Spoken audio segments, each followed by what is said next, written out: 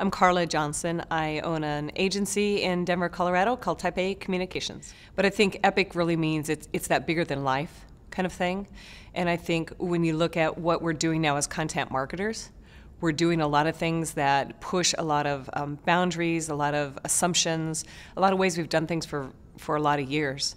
And I think when you can break those barriers that we have with legacy thinking and a lot of things that we've always done, you come out with an incredibly new and you know profound and creative outcome that you didn't have before, and that to me is what Epic is.